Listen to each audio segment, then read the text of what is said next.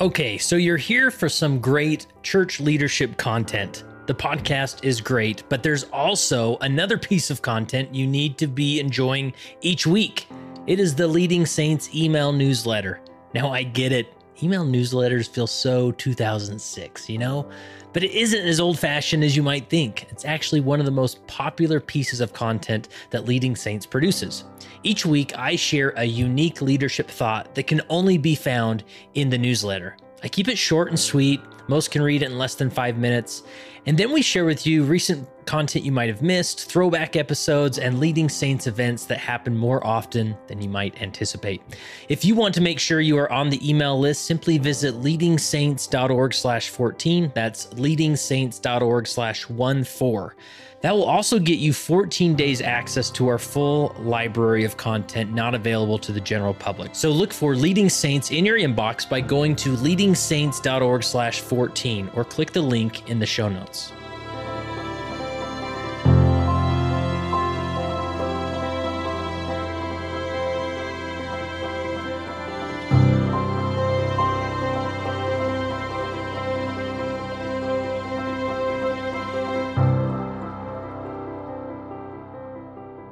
Before we jump into the content of this episode, I kind of feel it's important that I introduce myself. Now, many of you have been around a long time. You're well familiar with my voice and the, with Leading Saints as an organization.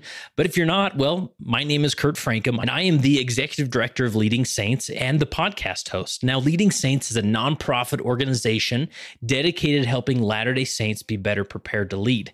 And we do that through, well, content creation like this podcast and many other resources at leadingsaints.org and uh, we don't act like we have all the answers or uh, know exactly what a leader should do or not do, but we like to explore the concepts of leadership, the science of leadership, what people are researching about leadership, and see how we can apply them to a Latter day Saint world. So here we go.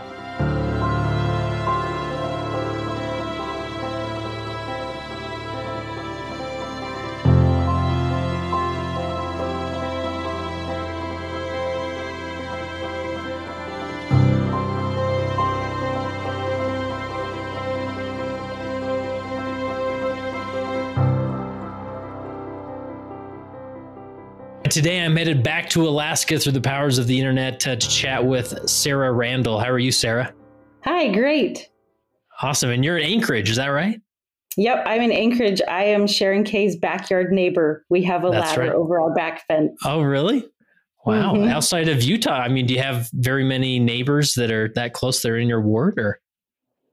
Not that often. We've lived in a lot of different states. I'd say this is the most that are in our neighborhood. We have three families in our neighborhood.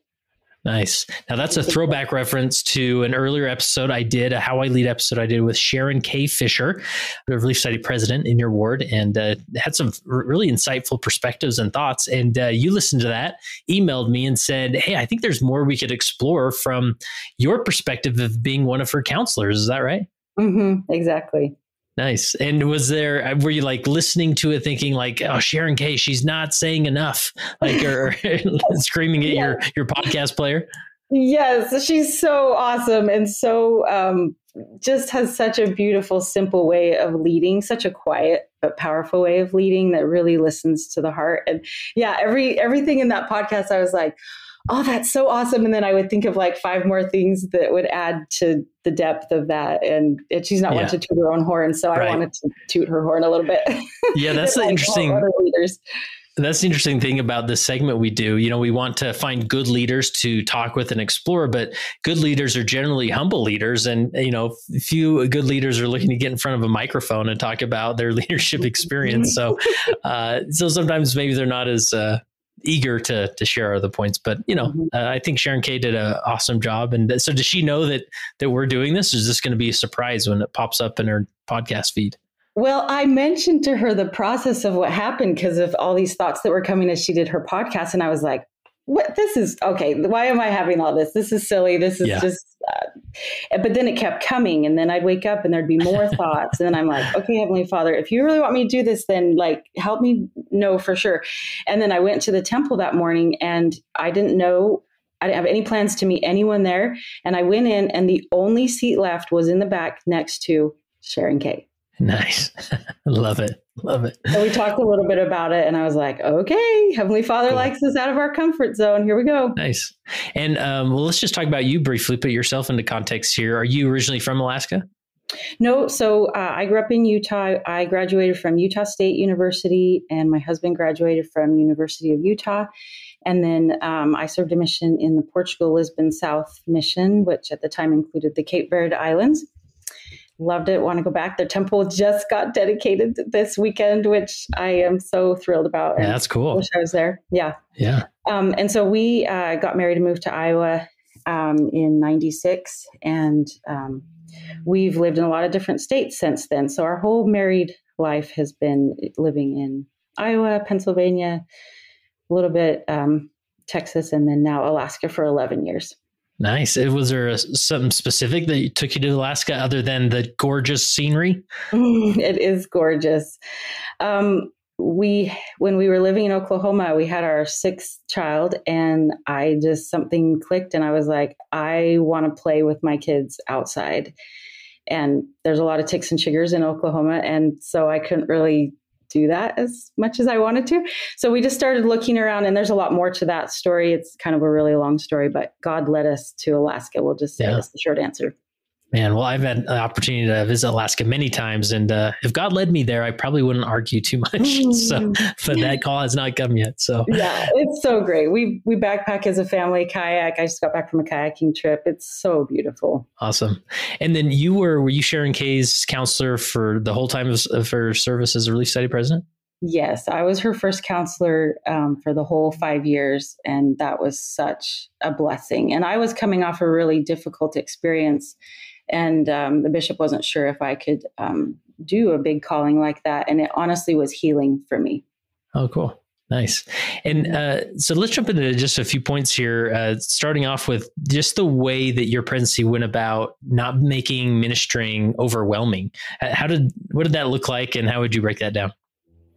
Well, it was interesting because that change happened during our presidency. We had a lot of big changes happening. We were just released last year. So we were, you know, the, all the different changes, every general conference, we're like, okay, presidency meeting tomorrow. Let's jump in and how are we going to make these new changes happen? And so um, we we noticed that there was a lot of baggage, a lot of guilt trips with visiting teaching, and like I, I it's all or nothing. I either go and I'm like the perfect visiting teacher and I bring the cookies and I do all these perfect things, or I'm not good enough and then I don't do it and then I'm a failure.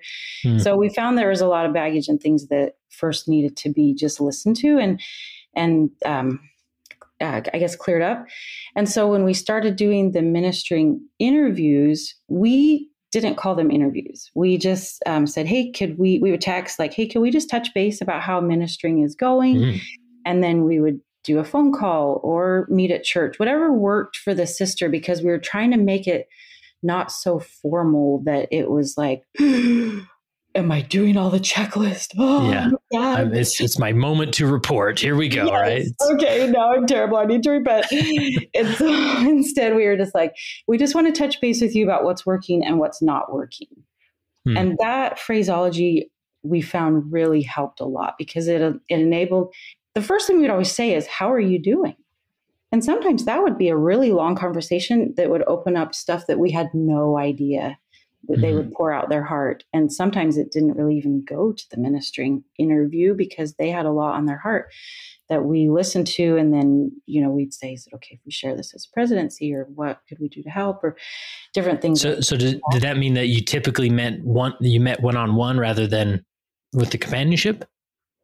Um, so when we did the interviews, the person, so we we divided up the, um, you know, the all the ministering interviews. We divided them up um, by three in mm-hmm. three groups. So president, first council, second group. We had our group that we interviewed, and we would just do that on our own interview, um, and that we would line it up. Like we text, "Hey, can we meet? Can we call?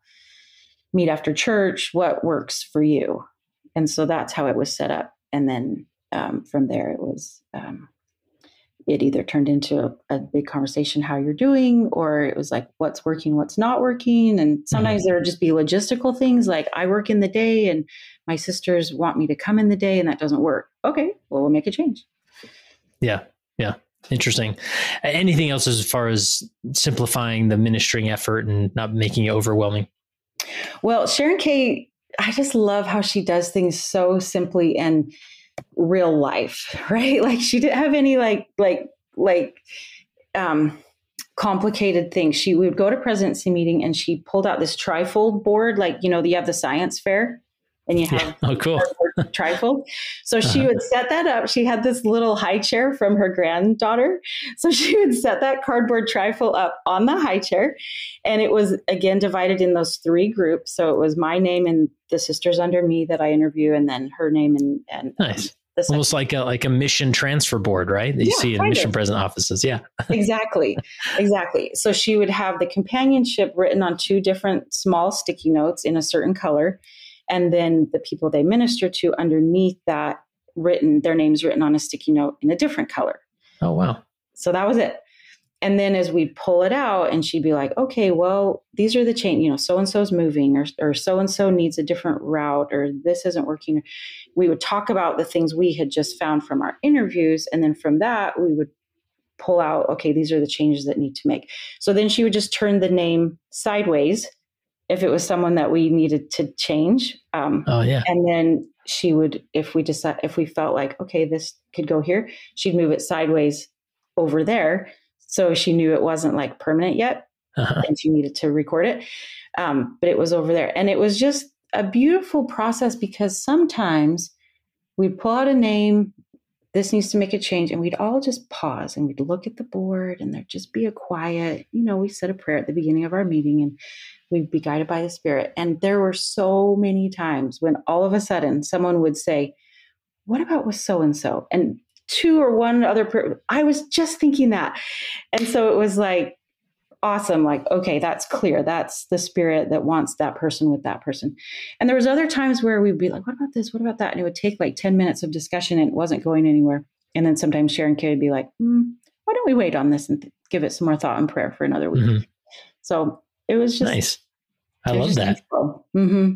And I love it that it's not, you know, we're in 2022, we're so obsessed with apps and digital methods. Mm-hmm. And I love mm-hmm. just the analog approach of good old post-it notes and a, mm-hmm. and a mm-hmm. trifold board and, and it mm-hmm. worked, right? Yeah. So simple. It worked so well. It's so visual. I'm a really visual pe- person. We all are. So yeah. And we did that yeah. same way with uh, picking our conference talks for lessons after we'd have general conference. She would have her breadboard with all the conference talks written on little sticky notes on the breadboard. I love it. Yeah. and we would all, because we're sitting around the table and, and we would all just say, like, this is my conference talk. We would say, like, what are our top conference talks that came to mind? And the ones that we all felt like, okay, these are for sure's, she would just put over to the side. And then she'd be like, okay, now we need like 10 more or whatever. Look at the weeks of the next six months. And then, and then we would discuss more. And then we kind of get to a place where like, oh, okay, well, that's good. We have about two thirds of it. Let's pray and listen to those talks again and come back next presence meeting and finish this up. So it wasn't awesome. ever like we have to have it all figured out at a certain mm-hmm. time. We just would go with the spirit and and be in flow with it. And it was just yeah. a really beautiful process. Yeah, and, and I just want to underscore the the principle of like just having systems in place, whether it's uh, post-it notes or something digital or whatever. Like mm-hmm. you had your system that you knew you'd come back to every time, and you knew what you were looking at, and you could probably get through, you know, make a lot of progress just because those systems were in mm-hmm. place. Mm-hmm. Yeah, and and also like as as the president, there was things sometimes that she knew that we didn't know, and so maybe we'd come back to president's meeting, and she'd be like, "I put this person, I was really praying, and I moved this person over here because such and such," and we'd be like, "Okay." Like, yeah, it's yeah, and and I also want to add, like, this was one of the things I thought during her interview that we all are really strong personalities and we're very different. Like every decade was represented in our presidency. Our secretary was in her 30s. I was in my 40s. Second counselor was in her 50s. Sharon Kay was in her 60s. Like so oh, much cool. different life experience.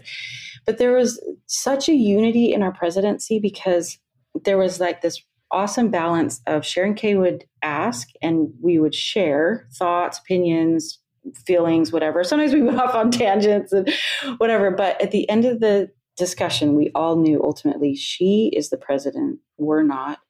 And so, just like we're taught to yield to the enticings of the Holy Spirit, we would also do that, yielding to the Holy Spirit and also yielding to her as the president, that ultimately she has the final say. And it was such a beautiful balance of there was never unrighteous dominion on her part of but there was also a respect for that leadership as a president for her. So there wasn't ever like butting heads or contention or things like that even though we had such um, diverse opinions. Yeah. Oh, i love it Love it.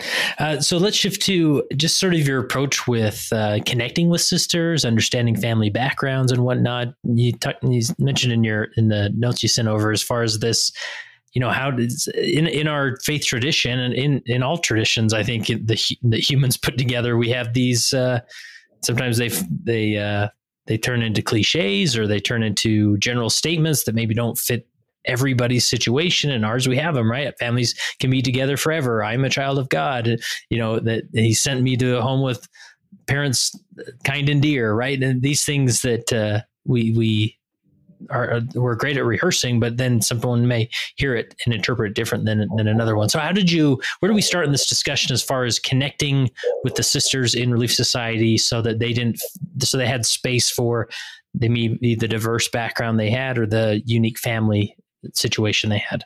Mm-hmm. That's so.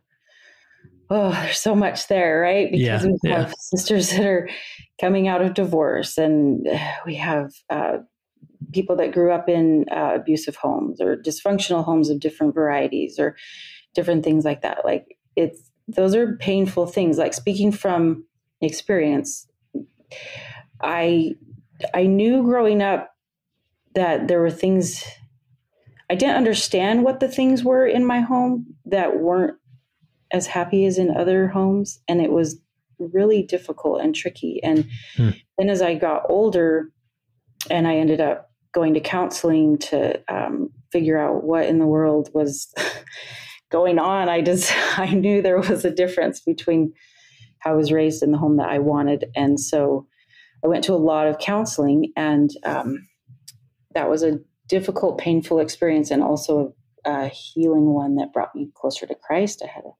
beautiful um, therapist that was in LDS Social Services. It was a miracle. That was one of the answers of why we came to Alaska, of the long mm. story part, which I didn't know, but God knew. um, and so I have that unique perspective that um, I would say a lot of people have that sometimes those can be painful things. Like I'm a child of God and he sent me to maybe maybe parents weren't kind and dear.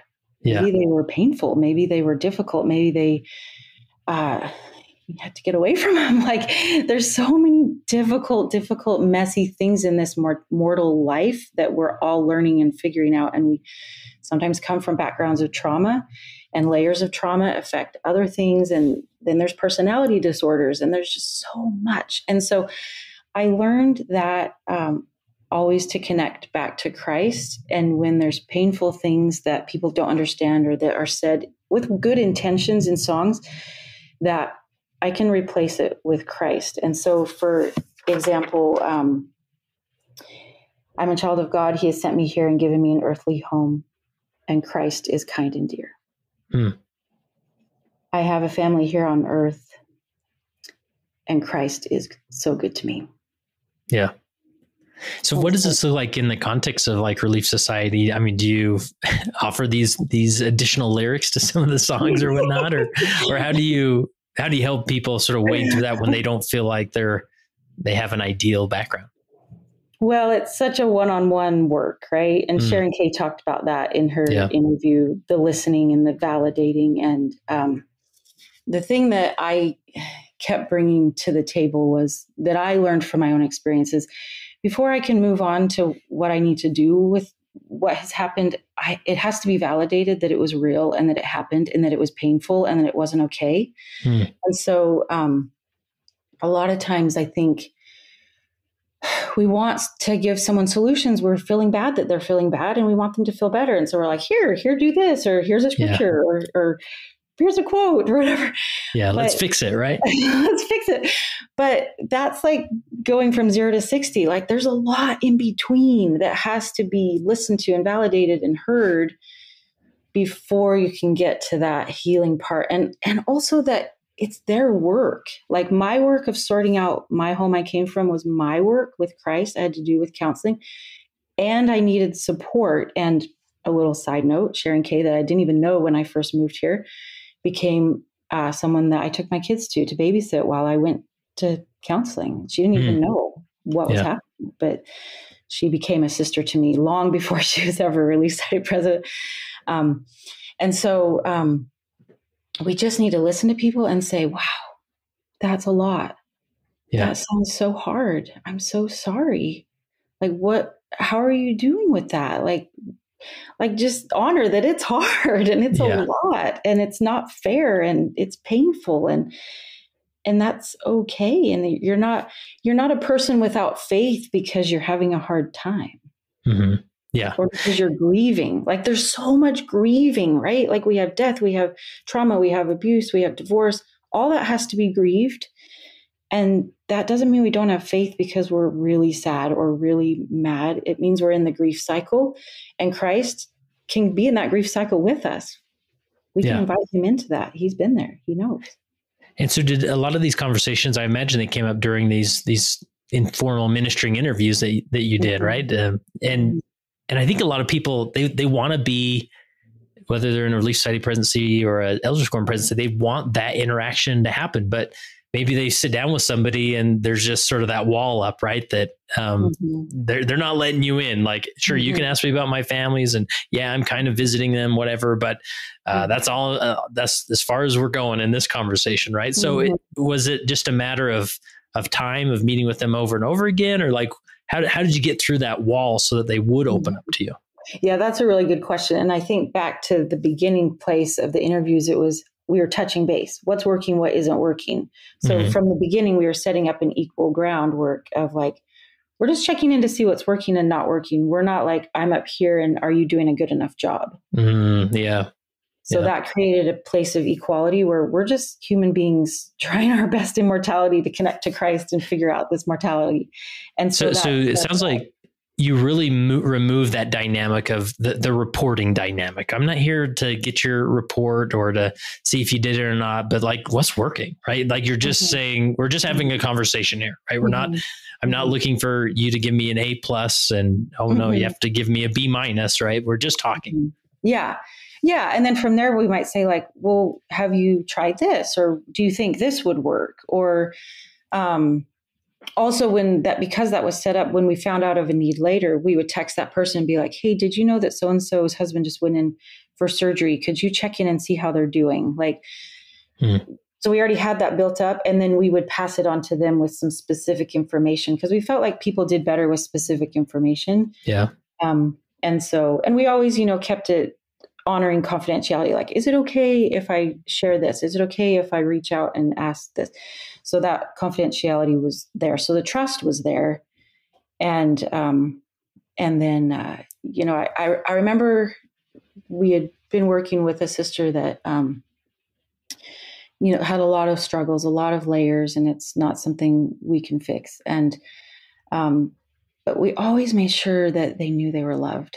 Like we would just always honor like the good that was happening even though there was so much more that you know needed to happen like we just honored the good that was happening like you're doing such a good job with this thing or like wow i can see how hard that was but like you did that and like mm-hmm. we would just cheer for them like i don't know was, i mean it was different individually but i guess it was just coming with a different mindset of like i'm not coming to give you answers i'm coming to listen and uh, I guess connect. Like Sharon Kay also mentioned, we were connectors. Mm, like that yeah. was such a big thing. It took load off us of like, oh, we're the relief society presidency. We have to have everyone's answers. Instead, it's like we got a lot more of the information of life situations. And so then, well, maybe so and so. Like it would be okay if I reach out to so and so. So we were just a connector because we had a better pulse on different people in the ward, and then we would connect them with um, other people that might be helpful for that situation or would become a friend or make ministering changes because of that difficult conversation. Yeah. Um, yeah. So I'm curious, like when you're in that moment where maybe somebody is opening up or just you can you can sense the overwhelm they're feeling or you know then it suddenly doesn't become about ministering assignments or anything it's like oh we're just we're having a a heart to heart discussion here mm-hmm. do you have any like go to questions or um, you know, I know like some therapists use the question like, "Tell me more about that," or any like so that you avoid the fix it mentality of like, mm-hmm. "Oh, you know, have you read your scriptures yet?" Or like, yeah. or how, how, you know, uh, have you gone to the temple about it, or right. to just any any phrases or questions you to just like stay present with them in those moments where they're opening up. I think the two, and they're very simple, is simply what would help you feel supported what do you need right now? Mm-hmm. and what do you want to work on? Like like if it was a work on thing but and i'll give an example of that like um there was a sister and and she's she's pretty open and she's given me permission to share this. So even though i'm not going to share her name um, she knows that. Sure. Um, so she had a lot of layers of trauma in her life and um, and was had a hoarding house. There was stuff everywhere. And as we I started to listen and get to know her better, she started to express like how frustrated was she was. She couldn't find stuff. There was just stuff everywhere and um and all these other layers of problems. And I said, well, what where do you want to start? What what would help? And she said, Well, could we work on my kitchen? I said, okay, when do you want to do that? Like it's all her, right? Like mm-hmm. I'm not the one leading it. She has to be the one leading it. And um, um, how about, you know, set a date? I came back. And so we just opened cupboards in the kitchen and there was like a million of water bottles and a million of this and a whole thing of like um, garlic butters and a thing. And, and the whole time it was like, okay, how many water, I would just ask her questions how many water bottles do you feel like you need well i don't know like but it, my job was just asking questions and honoring the faith that she had to even step into this really painful vulnerable space with me mm-hmm. because the stuff was was connected to so much neglect and trauma from her childhood and it was a really beautiful space to be there because i felt like the savior was there because she was stepping into that space and I was honoring it and just asking questions. Mm-hmm. But she was leading it versus there's other times we've gone in and decided, oh, we need to clean up this whole house because it's terrible and it's a terrible place for kids to live and whatever. And but the person wasn't leading it. They didn't ask for it. They didn't want it. And so what do you know? It got back to that same level. It didn't ever it, it wasn't healthy helping, it was codependent helping. Yeah. And so just that simple, what do you want? How could I support you? Would this sometimes Sharon Kay, she has this wonderful way of saying, Well, I had a thought, and I don't know but could I share this thought? Uh-huh. and of course, it's those thoughts are from the spirit, right? Uh-huh. But she's just so unassuming. She's like, I just had this thought. I wonder if I could share it. And always the thought was so like to the core, to the point. And I've had her do that personally with me. Um, and so, it, but it, but the way saying I had a thought isn't saying I know what you should do with this thought. It's just here's a thought. Yeah, I'm going to lay it down, and you can decide whether you pick it up, right? mm-hmm, exactly, nice. but it's very honoring of and respectful of them. And so, um, should do. As far as like you know, asking them what do they you know what what is it that they need, and you mentioned that you know the term codependency, which I think more some people might be familiar more than others. Um, so, what is like when somebody has a need what does responding that need codependently look like which we don't want to do for for those listening right? So what what does that what does code, codependency look like in this context of uh of helping the sisters or in this church leadership dynamic?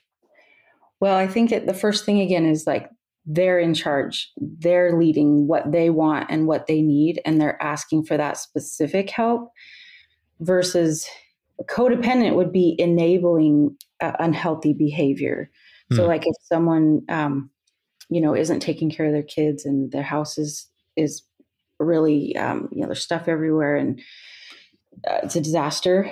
Um, if we're going in and cleaning that up and that person is just sitting on the couch, that's not healthy helping because they're mm-hmm. not engaged in that process. They're not learning, they're not doing, they're just sitting. And we had a really incredible tender mercy happen in our presidency when we were you know, you can kind of feel when like you're in these situations and you're like, oh, the kids are having such a hard time and I want to help, but like we're not getting through to like, you know, the the parent or whatever. And we don't know what to do about this, right? And so we we had a situation, um, well, I guess two things. Like we would always invite action. Like that's what God does, right? He mm-hmm. invites action. President Nelson is so good at constantly inviting action. Here's a principle. Now invite you to action. You know, find out, pray about all these things. So we would invite action. Like, so we would say, like, so do you think you could fill in the blank? And they could say yes or no, but we would always invite action. So they were doing something on their part that even if, no matter how small, that it was something they could do. Um, and so we had a situation where um, there was it wasn't an emergency situation where sometimes you do just have to run in and help. It was a chronic, ongoing thing. This pattern kept happening that um, the kids were, you know, being left without groceries and different things like that. And um, the we invited the um, parent to do some planning ahead and do some action, and that um, turned it backfired, and they were offended and things like that. Mm-hmm. And we were really torn about like, oh, did we do this right? What should we do? And we were all starting to feel like, ah, this is getting off balance, right? Because when you feel the spirit, you feel on balance. When you don't, you feel off balance. So it's feeling off balance. And we were all praying about like, what do we do about this situation? And the next morning I came down and I was reading through my son's school papers and he was like in second grade at the time. And there was just this really simple reading story that he had read for like phonics, whatever. And it was like the most crazy coincidental tender mercy that I brought to our presidency meeting. And we all just laughed and were like, wow, how does God do this? And so it was just a simple story of a man whose cart was stuck in the mud and he looked around and he said, Oh, there's a strong lady. I'm going to ask her for help. And she came over and started pushing the cart out of the mud. And he got on the cart and started yelling at her that she was doing it wrong. and she said, Wait a minute. I will help you push your cart out of the mud if you help me. And so he got out and helped her push the cart with her and then they got the car out of the mud and then gave her a carrot and they went on their way. And so that was like the magic thing is if someone wants their cart out of the mud, they need to be pushing with us. Hmm. Yeah. Not criticizing how we're doing it. And sometimes we have good intentions. We come in and we try to do too much because we love the person or we're concerned about the situation. But God honors our agency and we have to honor people's agency yeah. and goes back to the what do you want? Yeah. How do you want me to help? Yeah, I love that. And it's sort of, you know, you allow them to, yeah, you're asking them the question, letting them direct it. And I think another important con- component of, you know, avoiding that codependency is that if you're going to help them, you have to have it to give. So maybe this sister could have said, mm-hmm. "Well, I need you to come over for seven days uh, all next week mm-hmm. and and help me clean my entire house." He would say, well, I, I mean, I, I, I, can't do that. I could come over on Saturday for three hours and help you with mm-hmm. your kitchen. Would that be mm-hmm. helpful? Is that what mm-hmm. you need? And then she would say mm-hmm. yes or no, or because mm-hmm. if you don't have it to give, sometimes we get in that dynamic of thinking like, oh well, I'm the in the Relief Society presidency. I guess I have to do that, and then our mm-hmm. life becomes overwhelmed and we get drained, and then we're help to nobody, especially our own family. Exactly. Right? Yeah, yeah, and exactly, and that's a really good point. We would also ask questions like, well, who have you already asked for help? Mm-hmm. Do you have extended family that could help? Like that was part of our questions was who what have you already done to help? So that it could narrow down to what our part was which wasn't everything. Yeah yeah. And i remember uh, during my time serving as, as bishop we we were in an inner city area and i sort of made the the choice for all auxiliaries that we just if somebody comes to us and help, asks us to you know we had a lot of low income individuals that had extremely messy houses. If they come to us and say i need the relief society or the elders quorum to come and help us uh, help me clean my house, we would just say, we just don't help clean houses. So you're going to have to figure something else out. I, I, know some other words do that with moving. They say, Elders Quorum, our Elders Quorum is not a moving organization, so we can't help you move. You'll have to figure something else out. I think this, then this sort of this dance with boundaries and whatnot. And some mm-hmm. Elders Quorums or relief societies may hear that and be like, oh, that's crazy. You shouldn't do that. Well, mm-hmm. it, you know, each organization has to make these decisions in order to avoid this codependency of like, I don't think we can ever say no. And now we have to drain our people mm-hmm. until mm-hmm. there's nothing left. Right. Right. And that's yeah. where the Ward Council comes in too, because you yeah. know, we we were happy to help people move. We do help people move, but yeah. there was a situation that was a huge move and it had not been planned ahead and it had been encouraged. Well, can you ask this? Can you ask this? And then it was like Saturday morning, like, oh, we need 20 trucks. And we're like, yeah, we don't have that, right? you know, you had been asked to call these people and and we have few people that come for three hours and, and that's it. And so it's yeah. like it's really a tricky balance with boundaries yeah. and allowing people to learn from their agency and their experience. Like that's what mortality. Yeah. Is, but always with love, like not trying to we're not trying to teach a lesson. We're just trying to allow. Yeah. Yeah, because that helps the word thrive with, with with any individual with good boundaries. That's what helps us thrive, right? Mm-hmm. So yeah, and again, it comes back to questions like, what have you tried? Who have you reached yeah. out to? What can you do? Well, can you do that? Yeah, yeah. So you mentioned, you know, going back to my question about are there any go-to questions you ask when you're, you know, someone's opening up and needing help or talking about a tough situation? You talked about, you know, asking what do they need. Was there another question? I don't know if you mentioned it yet. What was because you said there were two main questions, but maybe we already talked about it. Yeah, well, I think it was, and also, what do you want? Okay, what do you need and what do you want? Okay, because like Jesus did that all the time. In yeah. fact, I started to notice when anyone would come to him whether they were blind, whether they were lame, whatever, he would always ask in some form or another, What do you want? Mm-hmm. Because he did not want to take away their agency. And so that's a really, really pivotal question. What do you want? Mm-hmm. And so back to my friend with the hoarding house, I asked her that question and she said, Could you help me with my kitchen?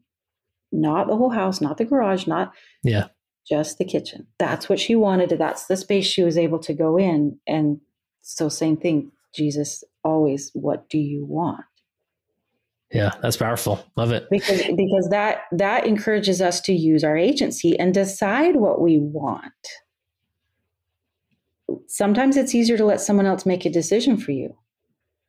But i'm in charge of my life and i have to decide what i want and that's my work with god. President nelson has talked a lot about doing the spiritual work to receive personal revelation that's my work. And I have to decide what I want and what I need and what my questions are, and then go specifically, I need this. Like God yeah. knows everything. He could shower us with everything.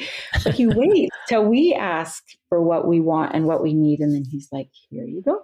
Here's mm. person, tender mercy, miracle. And we recognize it because we've asked for it and we're engaged in it with him.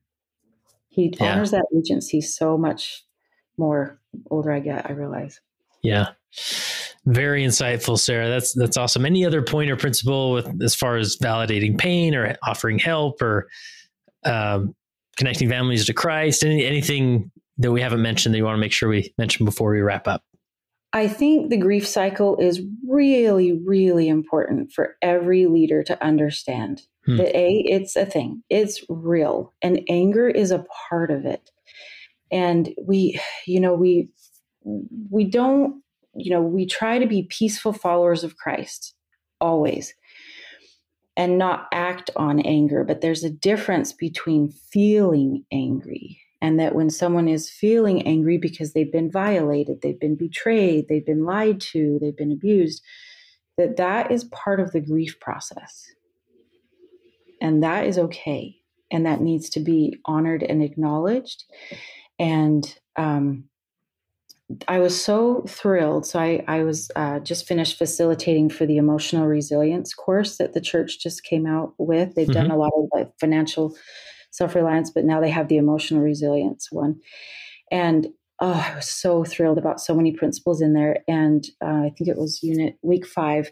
They talk about the grief cycle, and it says that uh, anger, the level of anger, something I'm not saying this exactly right, but the level of anger signifies the level of loss.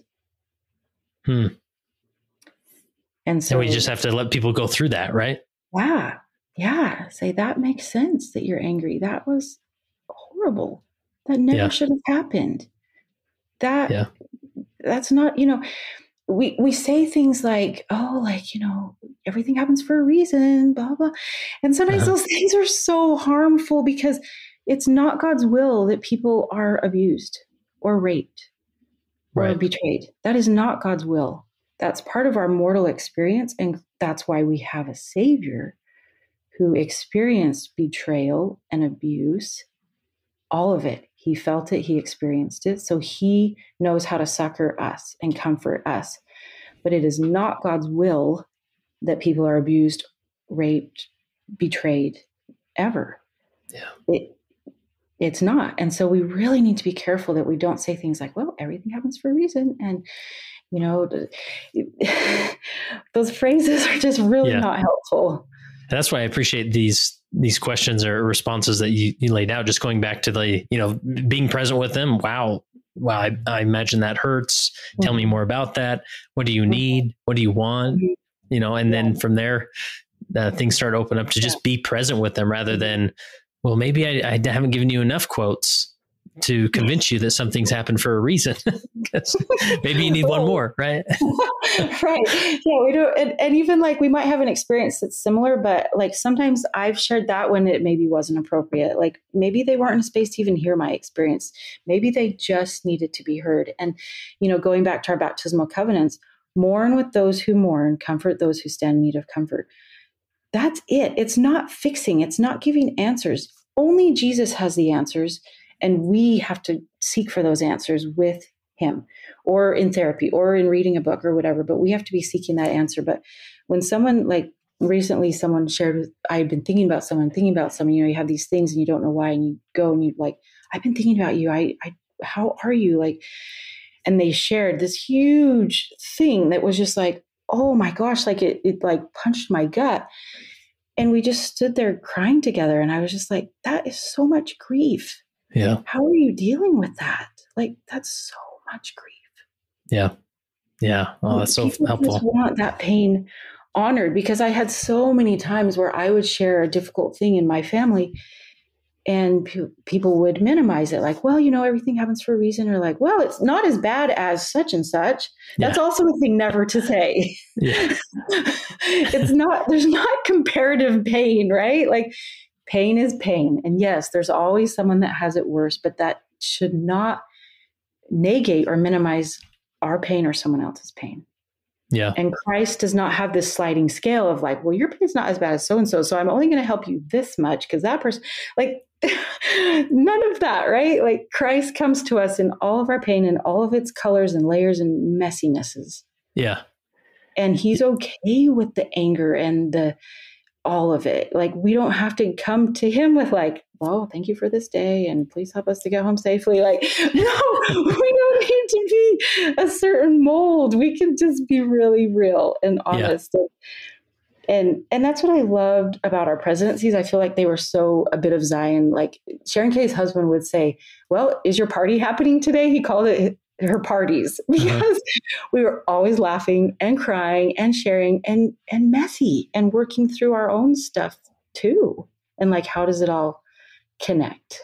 And so none of us have the answers. Only Christ does. But we can ask questions like He does, and listen and love and honor the progress people are making, the baby steps. Sharon Kay was so good at honoring, like, well, you know, comparing that person to that person.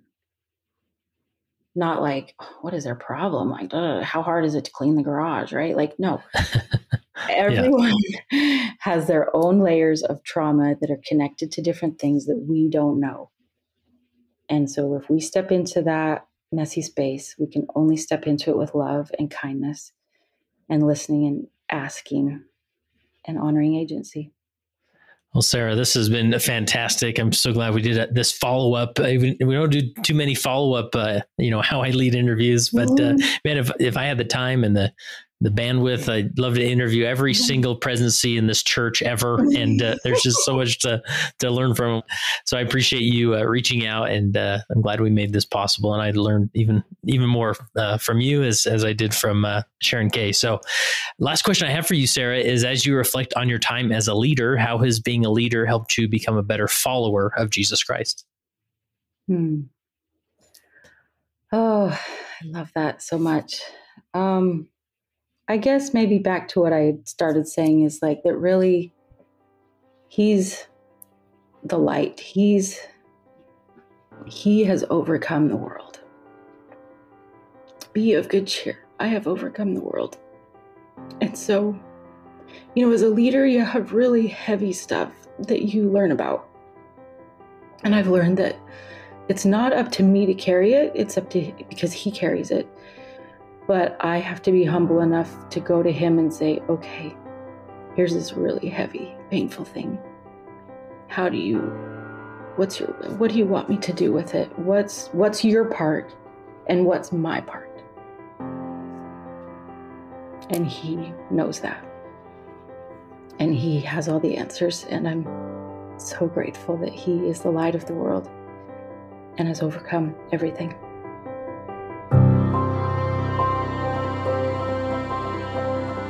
And that concludes this How I Lead interview. I hope you enjoyed it. And uh, I would ask you could you take a minute and drop this link in an email on social media, in a text, wherever it makes the most sense, and share it with somebody who could relate to this this experience. And this is how we how we develop as leaders, just hearing what the other guy's doing, trying some things out, testing, adjusting for your area. And uh, that's that's where great leadership's discovered, right? So we would love to have you uh, share this with uh, somebody in this calling or a related calling, and that would be great. And also, if you know somebody, uh, any type of leader who would be a fantastic guest on the How I Lead segment, uh, reach out to us. Go to leadingsaints.org/contact. Maybe send this in, individual an email, letting them know that you're going to be suggesting their name for this interview. We'll reach out to them and uh, see if we can line them up. So again, go to leadingsaints.org/contact, and there you can submit all the information and let us know. And maybe they will be on a future How I Lead segment on the Leading Saints podcast. And remember, to get on the email newsletter list, simply go to leadingsaints.org slash 14.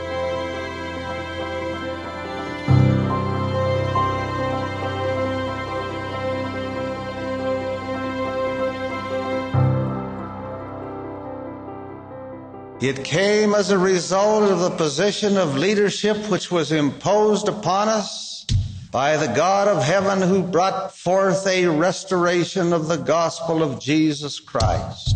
And when the declaration was made concerning the only true and living church upon the face of the earth, we were immediately put in a position of loneliness. The loneliness of leadership from which we cannot shrink nor run away and to which we must face up with boldness and courage and ability.